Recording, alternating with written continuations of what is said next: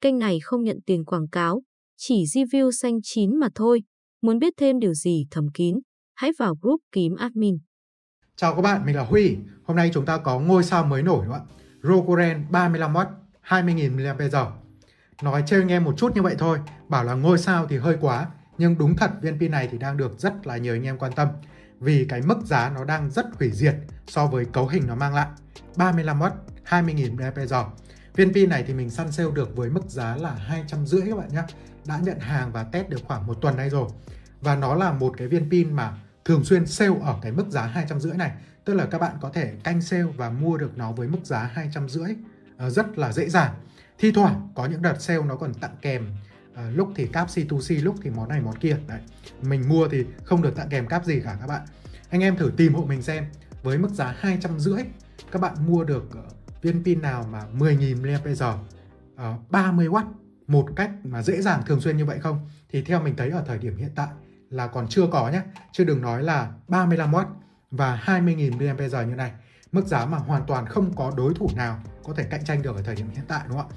Thì mình cũng rất là tò mò về sản phẩm này nên là mình cũng đã đặt được một viên ở đây để có thể test. Uh, quay đến đây thì chủ yếu là sâu lại cho các bạn về cái cách đóng hộp hình thức bên ngoài này check các chuẩn sạc này. Còn quá trình test thì mình đã test xong xuôi hết rồi.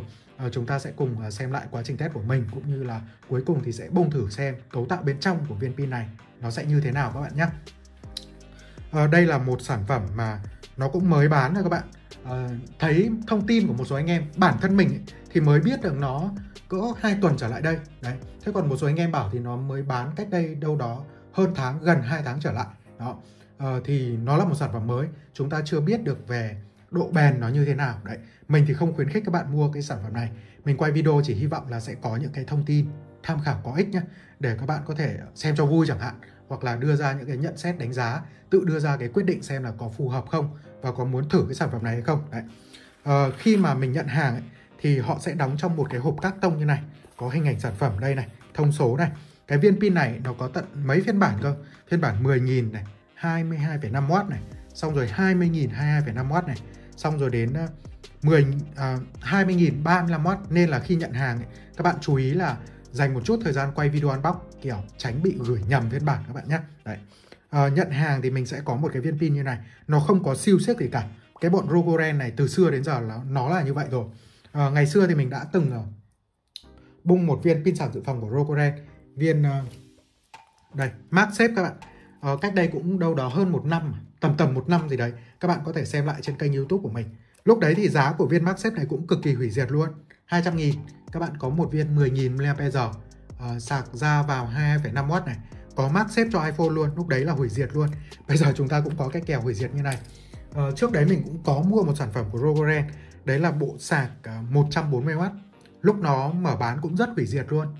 Uh, 500 nghìn có một bộ sạc 140W lúc đấy thì không có bất kỳ một brand nào có cái giá như vậy các bạn nhé mình dùng được hơn một năm thì nó hỏng mất cổng C1 140W bây giờ thì còn C2 và A vẫn chạy này. À, bây giờ thì nó không còn thơm nữa tại vì giá của nó vẫn loanh quanh 600 các brand khác thì uh, áp mã các kiểu xuống thì tín chỉ hơn mà lại chỉ có 700 nên là anh em không chọn nữa. Đấy. À, lúc nhận hàng thì nó không có siêu siết gì các bạn nhé. Đấy. Và ngay cả cái siêu tròn ở khu vực này cũng không có luôn. Nó chỉ là một cái hộp như này thôi. Đấy.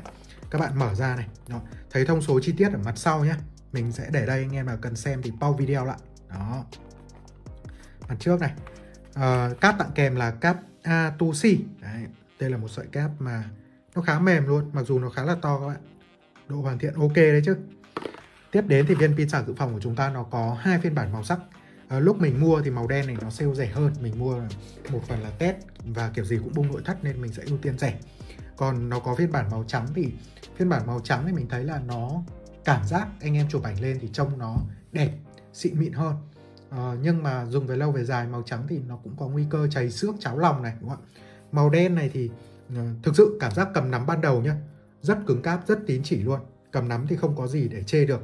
À, ngoại trừ việc là cái bề mặt cũng như cái màu sắc này thì trông nó hơi bị cùi cùi rẻ tiền đấy.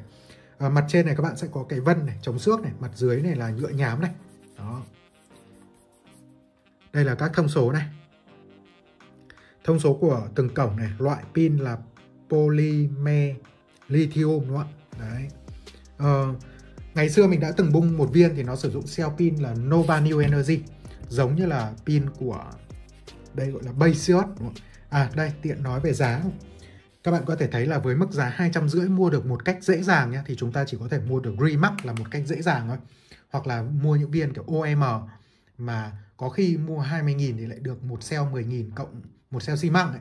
có khi là thế thật à, thậm chí là với Bayesiot AirPower này để mua được với mức giá 240 chúng ta phải canh sale và phải có mã để áp thì mới sâu được xuống mức giá đấy Đấy. Thế còn bên này thì chúng ta có cấu hình cao hơn mà thường xuyên có thể mua được với mức giá dễ hơn. Và hy vọng là nó sẽ sử dụng xe pin loại tương tự như này. Lát sẽ cùng bung thử các bạn nhé. Đó. Rocore này. Cổng này 2C1A này. Thông số thì C này là output max là 35W, input max là 30W các bạn nhé. Đấy, chứ không phải đều là 35, in out đều 35 các bạn nhé. Các bạn cần để ý cái thông số này. In là max là 15V 2A 30W đâu rồi. Input này. 20V 1,5A đấy 30W các bạn nhé. Còn à, output là 35 input là 30 à, hai cổng này. Đó. Cắm nhiều cổng thì nó sẽ về là 5V và tổng là 3A nên theo dự đoán của mình thì bên trong này nó chỉ có một chip giao thức thôi. Nên là nó sẽ như vậy. À, tiếp đến thì viên pin của chúng ta sẽ có báo pin bằng cách là bốn cái đèn này.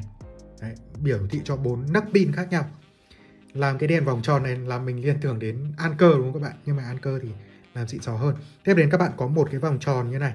À, nó sẽ sáng đèn led kiểu RGB các bạn. Đấy nó sẽ sáng suốt trong quá trình mà chúng ta sạc vào hoặc là dùng viên pin này sạc cho thiết bị khác sáng khá là đều và đẹp Tiếp đến thì viên pin này còn có cả chế độ sạc nhỏ giọt và chế độ sạc nhỏ giọt này gọi là đúng nghĩa luôn nhá. Các bạn nhấn giữ này. Đó, nó sẽ chớp một lần này, sau đó thì đèn của chúng ta sẽ chạy lần lượt vòng quanh như này. Đó. Đây là vào chế độ sạc nhỏ giọt rồi. Và khi vào chế độ này thì nó sẽ tắt tất cả các chế độ sạc nhanh của các cổng này các bạn nhé. Mình sẽ check cho bạn xem nhanh. Cái USB test này thì nó sẽ check nhanh hơn. nó sẽ tắt chế độ sạc nhanh chỉ còn gọi là 5V và mắc là 2A thôi đấy. 2,4A này đã tắt hết sạc nhanh đỏ lòm này. Kể cả cổng C cũng như vậy các bạn nhé. Đó. Đúng nghĩa luôn và duy trì cấp điện cho các cái cổng này trong vòng 2 tiếng để các bạn cắm các thiết bị như là tai nghe True wireless này đồng hồ này hoặc các thiết bị ăn dòng thấp ấy, thì nó sẽ đảm bảo được sạc đầy mà không bị ngắt giữa chừng đấy đấy là ý nghĩa của chế độ này bây giờ thì mình sẽ tắt nó đi đó, nhấn hai lần để tắt các bạn nhé. Cầm nắm cực kỳ cứng cáp tín chỉ luôn. Đấy. Không có một chút off flex nào. Khá là bất ngờ. À, đây là các cái cổng này. Các cái cổng thì hoàn thiện nó chưa được xuất sắc lắm các bạn. Đây các bạn có thể thấy cổng C này. Nó hơi bị lệch xuống phía dưới đúng không ạ? Cắm rút thì vẫn là ok. Thế nhưng mà à, ở đây thì có những cái sản phẩm nó sẽ làm mượt hơn ở cái đoạn này. Bây giờ thì mình sẽ check các chuẩn sạc nhanh để các bạn tham khảo. Cổng C thì mình sẽ cấp nguồn một viên pin sạc dự phòng này. Cắm vào đây để kích nguồn này. À, xin lưu ý lại với anh em nhé đây là một sản phẩm mà mình thấy khá là thú vị nên mình mua để test chứ mình không khuyến khích là uh, các bạn có mua theo hay không vì nó là sản phẩm mới. Cái brand này thì nó cũng sản phẩm của nó cũng nằm ở phân khúc gọi là uh, tay ở dưới. Đấy nên là uh, không biết về lâu về dài nó có bền không này. Pin lipo thì nguy cơ lúc nào nó mang trong mình. Nguy cơ là dễ bị phồng đó. đây là cổng C của viên pin sạc dự phòng này các bạn nhé. Các bạn có chuẩn sạc là FCP này. SCP này. AFC này. Quick chart này. Đó. PD này. PD này các bạn có là mắc là 20V 1,75A tức là 35W PD này. PPS ở đây là 3,15A tức là cắm nó sẽ nhận sạc siêu nhanh cho hệ điện thoại Samsung các bạn nhé. Đấy. À, chuẩn sạc 2A của Samsung 2,4A của Apple. Đó. cái cổng C này thì mình cắm USB test này vào mỗi lần nó ra có lần thì nó còn ra cả UFCS với cả uh, SCP 35W cơ các bạn. Còn uh, mình cũng không hiểu sao cái viên này thì mỗi lần uh, check có lần nó sẽ ra nhiều profile hơn. Nó có UFCS 33W này với cả có profile là AFC 25W bây giờ thì mình sẽ tiếp tục với uh, cổng A các bạn nhé. Mình sẽ lấy đúng cái cáp Atosi của nó luôn. Uầy, tốn 10 phút của anh em rồi. À, anh em nào chỉ muốn xem phần test thì các bạn có thể tua qua nhé. Um, mình sẽ để phần à, bung nội thất ở cuối nữa. Cổng à, C1 cổng A1 này các bạn này. Với sợi cáp đi kèm. À, sợi cáp đi kèm này là A2C bình thường thôi các bạn không có điểm gì đặc biệt. Đó đây. Cổng A này thì nó còn có cả UFCS 30W này các bạn này. Đó đây là một cái chuẩn chung của hệ Xiaomi với cả Vivo, với cả Oppo các bạn nhé. UFCS S này. Anh em nào mà có máy Huawei các thứ nữa, các bạn à, mà mua cục này thì các bạn cắm thử xem nó lên được bao nhiêu watt. SCP 25W này AFC này, đó. Quick Charge chúng ta cũng có này. Đó. Ok, đây là cổng à, A1 tiếp đến thì chúng ta đến với cổng A2 cái USB A này cắm vào cổng A này nó cực kỳ chắc luôn các bạn nhé đây là cái cái ưu điểm đấy tại vì khi các bạn sử dụng cáp ngắn với pin sạc dự phòng này cắm chắc như vậy thì sẽ giảm khả năng bị tuột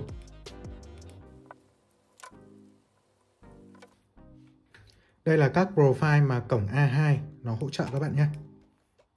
Cũng tương tự như không có UFCS. Đó, chúng ta chỉ có cơ bản quick trả thôi. Những viên pin này thì cá nhân mình thường mình sẽ dùng cổng C nhiều hơn vì nó phù hợp hơn với các thiết bị mà mình có. Tiếp đến thì mình sẽ cắm thử vào máy Samsung để các bạn tham khảo thử nhé. Đấy.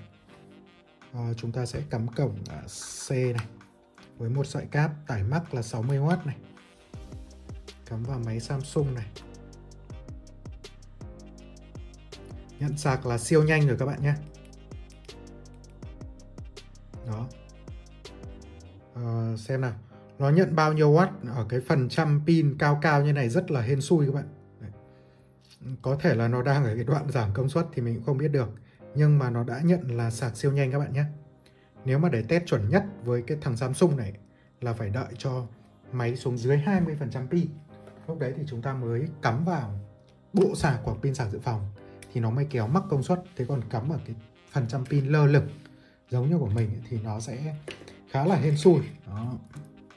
Mình đã sạc đầy cho viên Rokoren 35W 20.000 mAh này.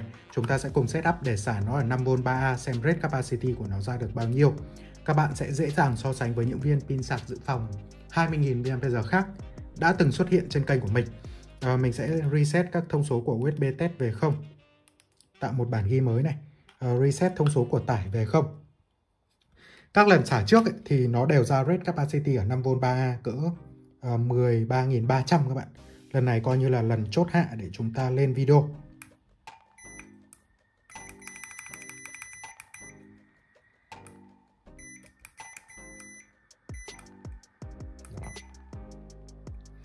Quá trình này thì sẽ hơn 4 tiếng các bạn nhé. Xả xong rồi anh em ơi, chúng ta sẽ cùng đọc kết quả nhé. Trước tiên thì sẽ show cho các bạn xem cách báo hết pin của viên pin sạc dự phòng này. Là cái đèn cuối cùng nó sẽ chớp chớp màu xanh như này. Và đèn RGB vòng quanh thì sẽ không sáng lên được nữa các bạn nhé. Để đọc được kết quả thì mình sẽ cắm USB test vào một viên pin đang còn điện ở đây. Đồng thời thì chúng ta cũng so sánh luôn với thông số mà tải điện tử đo được.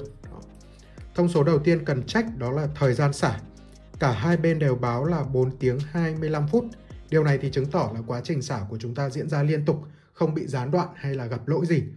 Tiếp đến thì các bạn có thể sử dụng thông số là milliwatt giờ này quy ra là watt giờ nhé. Đó, milliwatt giờ này.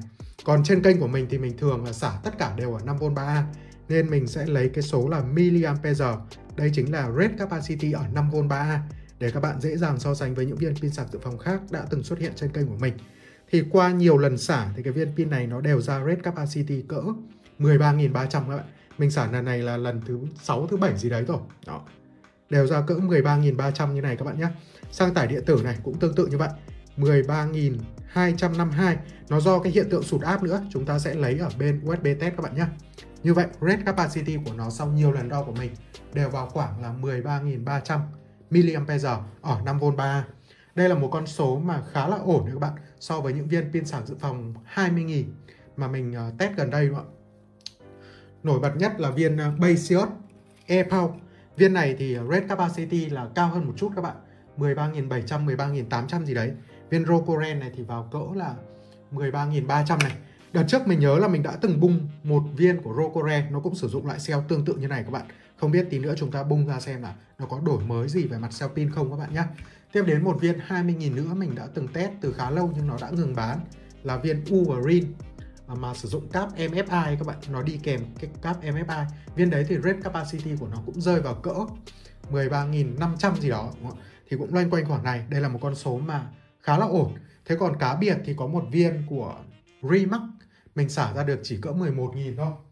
RPP292 sau lại cho các bạn thấy. Đó. Đây là đơn thuần so sánh về mặt rate capacity để các bạn có thể tham khảo của những viên pin 20.000 mà mình đã từng test các bạn nhé. Mình khá là ít test pin 20.000 đó. Tiện thể viên pin sạc dự phòng đang hết sạch pin, chúng ta sẽ cùng nhau test sạc vào của viên pin sạc dự phòng này các bạn nhé. Đây cũng là lần test thứ 6 thứ 7 gì đấy của mình rồi. Đó. À, chúng ta sẽ cắm qua một cái power Z này, kết nối với máy tính để ghi lại được toàn bộ quá trình sạc này. Mình sẽ sử dụng bộ sạc cáp của Ugreen. Đây là củ sạc 100W 2 cổng C, một sợi cáp của Ugreen. Chúng ta sẽ cắm như này. Và trên máy tính sẽ ghi lại được toàn bộ quá trình này các bạn nhé. Điểm đầu tiên mình muốn chia sẻ đến các bạn đó là về cái công suất sạc vào. Ờ, viên pin sạc dự phòng này được quảng cáo là sạc vào input max là 30W nhưng thực tế trong các lần test của mình ấy, nó đều ờ, input max là trên 30W một chút các bạn nhé đều cỡ 31,5 đến 31,8 tức là sấp xỉ 32W gọi là đủ đi. Uh, hoặc là nhỉnh hơn một chút so với thông số nhà sản xuất công bố. Thì như chia sẻ trong nhiều video trước của mình là mình rất ít khi gặp cái hiện tượng như này các bạn. Bình thường những viên pin sạc dự phòng mà quảng cáo sạc vào input 30W như này thì thực tế khi test mình sẽ gặp là nó sẽ nhận thực nhận cỡ 26, 27, 28W gì đấy. Hiếm khi nhận đủ hoặc nhỉnh hơn một chút như này lắm. À, như này thì chủ yếu là cũng có lợi cho chúng ta thôi. Nó sẽ giúp là rút ngắn cái thời gian sạc cho viên pin sạc dự phòng này xuống một chút đúng không các lần test trước của mình thì tổng thời gian sạc đầy nó đều rơi vào cỡ ờ, uh, 3 tiếng 40 phút loanh quanh khoảng đấy các bạn. Lát nữa có kết quả thì mình sẽ show lại cái biểu đồ cho các bạn xem test sạc xong rồi anh em ơi đây là một trong các biểu đồ mà chiếc PowerZ của mình ghi lại được quá trình test sạc vào viên Rokoren 20.000 mAh 35W. Ở các lần test trước của mình thì nó cũng ra cái biểu đồ tương tự như này. Các bạn có thể thấy trong khoảng sấp xỉ gần một nửa thời gian đầu tiên, viên pin của chúng ta sẽ kéo một đường công suất gần như nằm ngang như này. Nó là sấp xỉ 32W các bạn nhé. Ở đây thì nó cứ lên xuống cỡ 31,5, 31,8 nó tạo thành cái đường răng cưa kiểu như này. Còn các viên pin mà mình gần đây mình test ấy, thì cái đường này nó sẽ kiểu mịn hơn các bạn, tuyến tính hơn. Cái này thì nó cứ nhấp nhô nhấp nhô. Đó. Tiếp đến nó sẽ bắt đầu giảm công suất. Ở trong lần test này của mình là khoảng 1 tiếng 34 phút các bạn nhé. Giống một đường xuống này.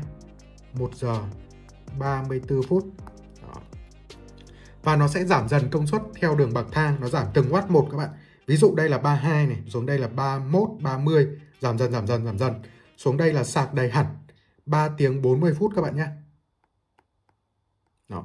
Viên pin này thì không có màn hình báo phần trăm pin, nên là mình sẽ ước lượng ở cái điểm giảm công suất này dựa trên tổng năng lượng cần để sạc đầy viên pin này và năng lượng cần để sạc đến cái điểm này thì nó sẽ là sấp xỉ 60%.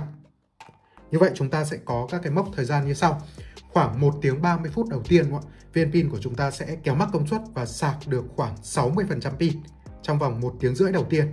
Sau đó thì nó sẽ giảm dần công suất và sạc đầy, sẽ cần thêm đâu đó khoảng 2 tiếng nữa. Tổng số là 3 tiếng 40 phút. À, nhắc đến 3 tiếng 40 phút cho một viên 20.000 mAh. Đến đây thì các bạn thấy nó cũng chưa có gì đặc biệt lắm đúng không ạ? Ở đây thì mình sẽ sâu cho các bạn một viên pin mình test gần đây. Thì anh em sẽ thấy là cái con số này nó bớt gọi là tầm thường đi một chút đúng không? Nó không có gì gọi là quá pro max nhưng nó sẽ bớt tầm thường đi. Đây là viên Basios Air Power 20.000 mAh. Hai viên này thì mang ra so với nhau là rất hợp lý các bạn nhé. Thứ nhất là giá không sale là cũng xem xem nhau mà giá săn sale được là cũng xem xem nhau này. Tiếp đến thì cái rate capacity của nó cũng là xem xem nhau. Bên này là cỡ 13.300, bên này cỡ 13.700 gì đó đúng không Cũng gọi là xem xem nhau. Thì chúng ta sẽ so cái thời gian sạc đầy. Đó, ở đây mình đã ghi lại đây. Các bạn có thể thấy này, viên này thì nó nhận sạc vào thực nhận cỡ đâu đó gần 18W. Viên này thì thực nhận cỡ gần 32W. Đó, ở đây thì sạc 3 tiếng 15 phút đầu tiên là đạt được 70%. Để sạc đầy là 6 tiếng 30 phút các bạn nhé. Trong khi viên Rogoren này, để sạc đầy chúng ta chỉ mất cỡ đâu đó 3 tiếng 40 phút. Tức là công suất sạc nó chỉ nhận vào bên này là 18 này, bên này là 32 thì nó tranh nhau cỡ đâu đó 14W mà nó giảm cho chúng ta gần 3 tiếng đồng hồ các bạn nhé 3 tiếng 40 phút 6 tiếng rưỡi đó, anh em thấy cái ý nghĩa của việc sạc vào nhanh nhá sạc vào nhanh hơn chỉ gọi hơn chục watt thôi mà tiết kiệm cho chúng ta 3 tiếng đồng hồ. Đấy. như này mà các bạn bảo sao mà rất nhiều người mê những cái viên pin sạc dự phòng mà công suất sạc vào cao luôn, 90W này ờ, uh, 100W này 120W thậm chí là 140W thời gian sạc vào rất nhanh tiết kiệm cho chúng ta rất nhiều thời gian luôn. Đấy. À, ví dụ như là các bạn giống như mình chẳng hạn có rất là nhiều thiết bị đúng không ạ? Có số lượng củ sạc tương đương với số thiết bị cần sử dụng thì một cái viên pin này mà nó ôm một cái củ sạc của chúng ta lên đến 6 tiếng rưỡi thì anh em cảm thấy thế nào? Một củ sạc chỉ phục vụ viên pin này. Thế còn với viên pin này chúng ta chỉ sạc mất đâu đó 3 tiếng hoặc với những viên pin mà, đây, sạc vào 90W chẳng hạn, sạc có 45 phút thôi. Đấy, cho nên là chúng ta chỉ cần một củ sạc mà cân được rất nhiều thiết bị kiểu như này vì nó sạc vào nhanh. Đó. đây là ý nghĩa một chút về cái việc sạc vào nhanh các bạn nhé. Để anh em có thông tin tham khảo và so sánh với hai viên pin sạc dự phòng này với nhau cuối cùng thì mời anh em đến với màn hấp dẫn nhất, đúng không ạ? Test xong xuôi rồi thì cùng bung nội thất thôi. Cái viên pin này phải nói là độ hoàn thiện của nó khá ổn luôn, đến bây giờ mình vẫn chưa biết cái nắp bên trên hay là cái nắp bên dưới là cái phần rời ra các bạn. Này. Kiểu như là hai cái mặt nó ốp vào hoàn thiện như nhau vậy. Nên là không thấy cái nào hoàn thiện tốt hơn, không thấy cái nào liền hơn. Cả hai cái đều rất là khít các bạn à, mình không khuyến khích các bạn làm theo nhé mình đã bung ra đây rồi các bạn có thể tham khảo nội thất. Thế còn bên trong nó là cell pin lipo. Anh em vô tình mà chọc phải nhỡ đầu mà nó cháy thì sẽ không dập được các bạn nhé đây theo dự đoán của mình thì có vẻ như là cái phần bên dưới này là cái phần sẽ rời ra các bạn. Nhưng bạn chẳng biết có đúng không? Nhìn cả hai bên nó đều rất là liền mạch nhưng bên dưới này có vẻ như là giống hơn các bạn.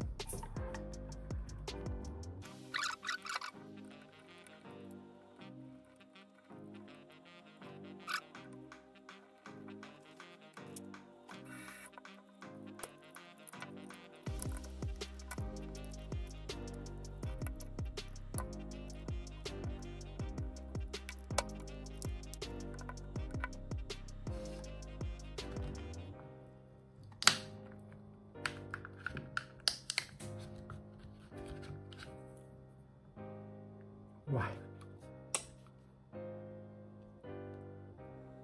Bây giờ thì rất nhiều brand họ đã sử dụng băng dính hai mặt, băng dính xốp mỏng các bạn, hai mặt để dán giữa PCB, uh, ờ, giữa cell pin với phần vỏ. Nhưng mà thằng Rocoren này thì nó vẫn sử dụng cái keo silicone này các bạn này. Đó, nó dán rất là nhiều luôn. Thế này thì ờ, cell pin ở mặt dưới thì sẽ rất khó để có thể lấy ra để xem thông tin thôi.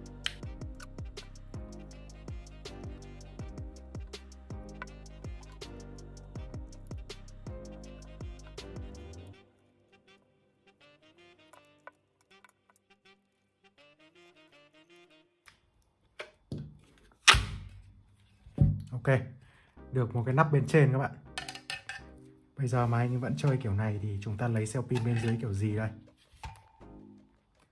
Như này lại còn hai cell mà lại ốp vào nhau nữa thì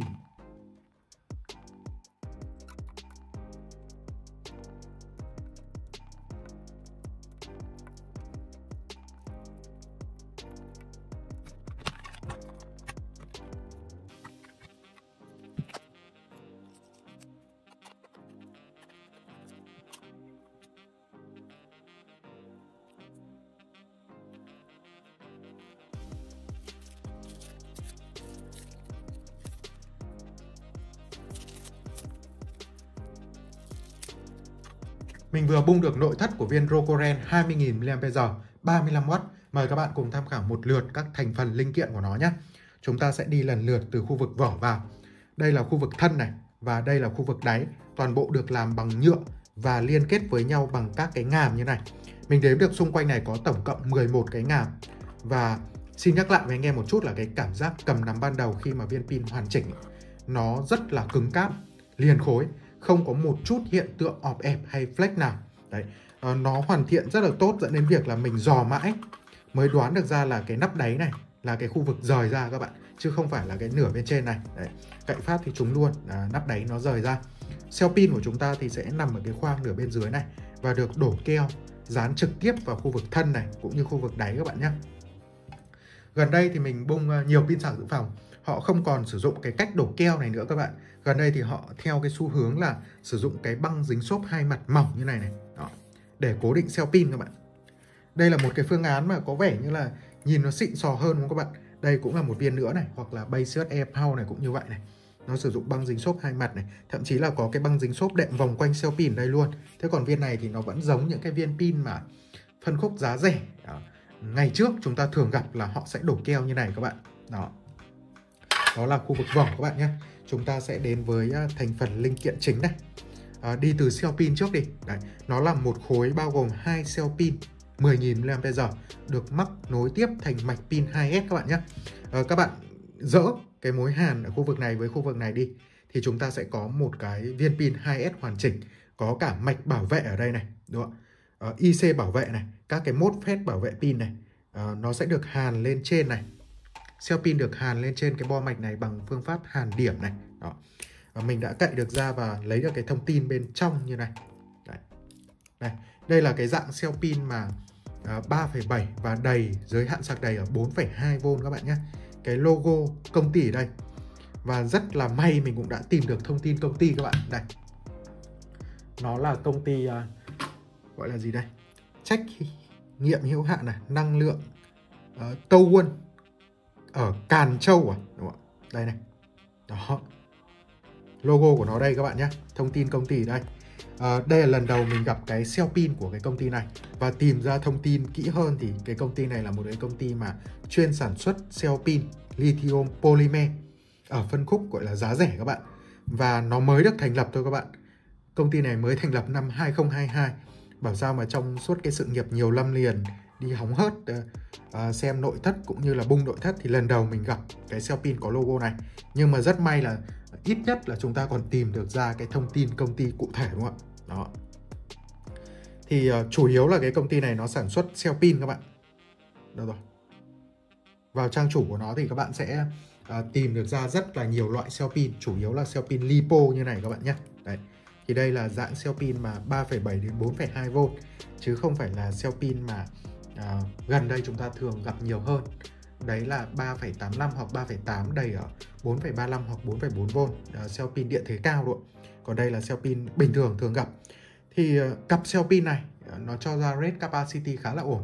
13.300 à, tổng thể cả viên pin này 13.300 mAh ở 5V 3A một con số khá là ổn. Thế nhưng mà mình thì lần đầu gặp cái cell pin này không biết là cái vấn đề lớn nhất là không biết uh, nó có nhanh chai hay không này và cái độ bền theo thời gian thì nó có dễ bị phồng hay không? Đấy đấy là hai cái câu hỏi về mặt cell pin phải để thời gian mới trả lời được các bạn nhé.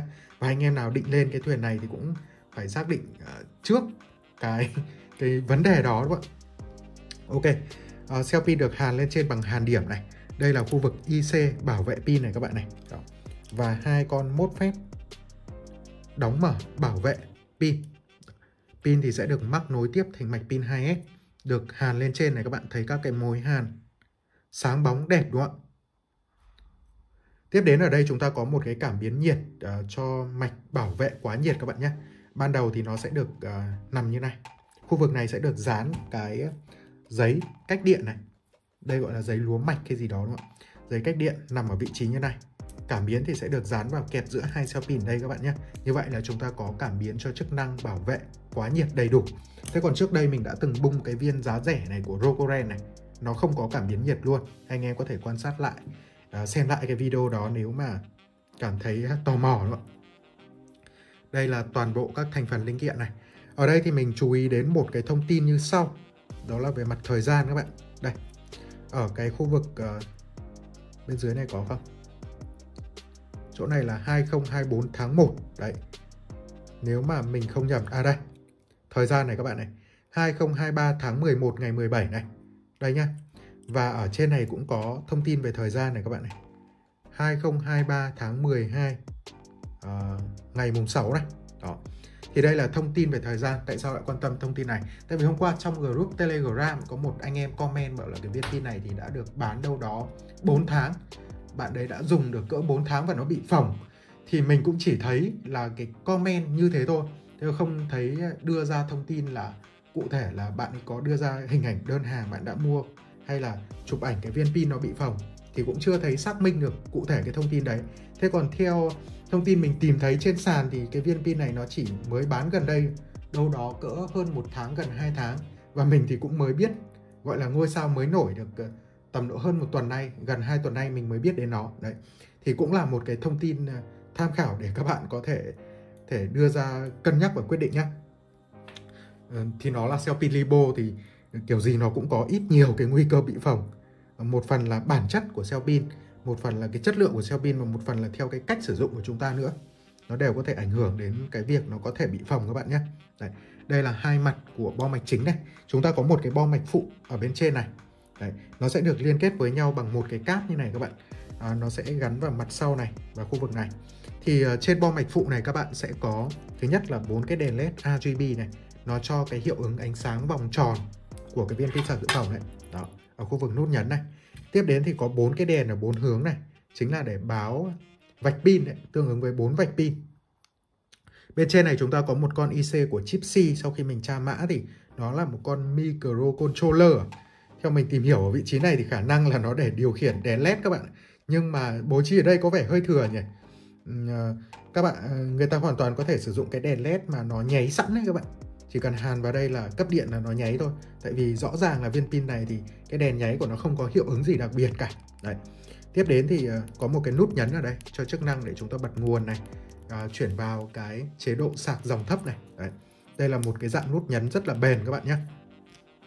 Bên dưới bo mạch này à, phần lớn linh kiện sẽ tập trung ở mặt này thế còn mặt bên trên này thì chúng ta sẽ có cái tụ điện lọc nguồn đầu vào này từ pin vào này uh, cuộn cả cho mạch uh, tăng hạ điện áp này. Ở đây là tụ điện cho mạch sau khi mà điện áp ra này được lọc này. Đó lọc nguồn đầu ra này. đây là lọc nguồn đầu vào này. Đây là toàn bộ các thành phần linh kiện của nó các bạn nhé anh em có thể nhìn một lượt. À, mình sẽ đi à, lần lượt từ ngoài vào đi. Chúng ta có vị trí các cổng A, cổng C được làm bằng khung thép cực kỳ cứng các bạn nhé và được hàn chuyên chân này xuyên PCB các bạn có thể yên tâm sử dụng nó trong thời gian dài à, không lo hiện tượng bị rão hay là lỏng cổng Đấy, các cái cổng này đều có cái chất lượng hoàn thiện rất là tốt. À, tiếp đến thì à, ngay bên dưới các cổng này các bạn sẽ thấy này đùa một phép à, làm nhiệm vụ đóng mở bảo vệ cấp điện đúng không bảo vệ cho các cái từng cái cổng này. Mỗi cổng đều có một con các bạn nhé. Và đây là viên pin 35W thì nó sẽ không sử dụng. Con à, đùa mốt phép mà chúng ta thường gặp ở những viên à, pin 22,5W hay 20W nó sẽ sử dụng một con 6 chân. Ở đây thì nó sẽ sử dụng con mốt phép mà có thể chịu dòng với cả chịu à, hiệu điện thế cao hơn. Đấy nó sẽ đóng ở dạng như này. À, đây là một cặp đoạn uh, mốt phép này kèm theo một cái cuộn cảm ở đây cho mạch uh, tăng hạ điện áp này các bạn này. Đó. Tiếp đến thì đây là con IC điều khiển khiển chính đến từ Silan các bạn nhé. Mới đầu nhìn cái tên này rất là lạ này. Silan và cái mã của nó bên dưới này các bạn này. SD 59 D24C đấy. Mình đã tìm uh, Google thì uh, ra thứ nhất là ra cái công ty. Đấy. không tìm thì không biết tìm thì mới thấy là uh, tại vì lần đầu gặp mà tìm thì mới thấy là ra cái công ty Silan này là một cái công ty rất là lớn. Đấy. À, thành lập năm 1997 này các bạn này. Và đây là các cái thành tích của nó này. Đó. Đâu rồi mình vừa đọc xong. Nó đứng thứ 6 đứng thứ 8 gì đấy trên thế giới này các bạn này. Đây. Silan Micro này. Đứng thứ 6 trên thế giới trong bảng xếp hạng nhà sản xuất IGBT các bạn nhé. IGBT là cái linh kiện mà chúng ta thường gặp ở trong bếp từ các bạn. Đứng thứ 8 thế giới trong bảng xếp hạng à, sản phẩm liên quan đến IPM này. Thứ 10 thế giới trong à, sản xuất MOS đúng không? Đó. Đây là các thành tích rất là đáng lẻ và đây là một cái công ty rất là lớn của Trung Quốc chuyên sản xuất về uh, chip linh kiện bán dẫn các bạn nhé. Ở Hàng Châu. Đấy thì cái con IC này chúng ta cũng có thông tin luôn nó nằm trong bộ 3 IC là có mã là SD59D24A này 24B và 24C đấy nó nằm trong bộ 3 này.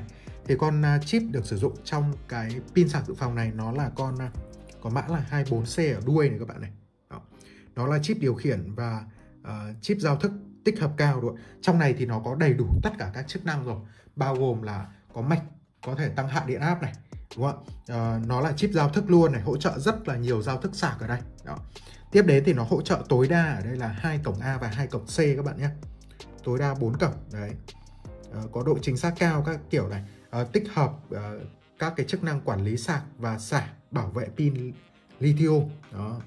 Đây đây là một con chip mà gọi là kiểu all in one một giải pháp hoàn chỉnh để à, sử dụng cho một viên pin sạc dự phòng. À, thường sẽ sử dụng trong pin sạc dự phòng giá rẻ để giúp tiết kiệm các linh kiện ngoại vi à, giảm bớt giá thành. Đấy. thì đây là toàn bộ các thành phần linh kiện của viên Rokoren này các bạn nhé trên đây là toàn bộ các chia sẻ của mình về Rokoren 20.000 mAh 35W. Toàn bộ các thành phần linh kiện cũng như nội thất của nó thì đã được sâu ra ở đây.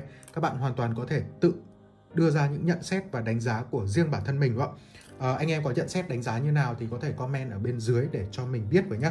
Anh em thấy kèo này như thế nào đúng không ạ? Có đáng để mạo hiểm lên thuyền hay không? À, còn với bản thân mình thì uh, mình có cái quan điểm như sau. Uh, pin sạc dự phòng thì là một cái sản phẩm mà chúng ta mua để sử dụng lâu dài. Đấy, trong rất là nhiều video mình cũng có thông tin đến anh em là như vậy.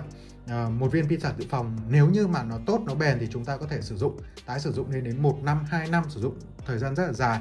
Nên là mình không khuyến khích các bạn mua những cái sản phẩm mà ở phân khúc nó quá rẻ hoặc là những cái brand mà nó chưa đủ lớn chưa đủ uy tín. Thế tuy nhiên ờ, đánh giá riêng về viên pin sạc dự phòng này với cái kèo này ở phân khúc hai trăm rưỡi thì ờ, đây là một kèo mà có vẻ như là rất là hời đúng không anh em? À, thứ nhất là hời về mặt công suất này về mặt cấu hình này về mặt độ hoàn thiện của sản phẩm phía bên trong này. Thấy mình thấy nó vẫn đang khá là hấp dẫn. Đấy thì anh em nào mà uh, chấp nhận cái sự mạo hiểm đó uh, về mặt uh, sản phẩm mới này không biết là về lâu về dài cái độ bền độ ổn định của nó như thế nào uh, về sau nó có gặp cái lỗi gì hàng loạt hay không hay là nó có nhanh chai nhanh phòng hay không anh em nào mà chấp nhận được những cái nguy cơ đó và đang cần một viên pin sạc dự phòng mà ở cỡ 20.000 mAh với cái công suất sạc ra vào gọi là hủy diệt trong cái phân khúc giá như này thì các bạn cũng có thể tham khảo thử xem sao không ạ? À, hy vọng là về sau anh em đã từng lên thuyền những viên pin này thì có thêm những comment feedback ở bên dưới xem là sau một thời gian các bạn sử dụng thì các bạn có gặp vấn đề gì với nó hay không? Đấy. À, à, rất là mong chờ những cái feedback của các bạn ở bên dưới vì mình thấy là cái viên pin này Ờ, giá nó tốt nên là đang được bán rất là chạy nhá đó ok Uh, chúc các bạn xem video vui vẻ. Mời các bạn cùng tham gia vào các group mình để link ở bên dưới như là cuồng tai nghe Chu Wireless, nhậu công nghệ, nơi chúng ta cùng thảo luận, hỗ trợ nhau trong quá trình sử dụng và cùng nhau săn sale các sản phẩm công nghệ với mức giá tốt nhất.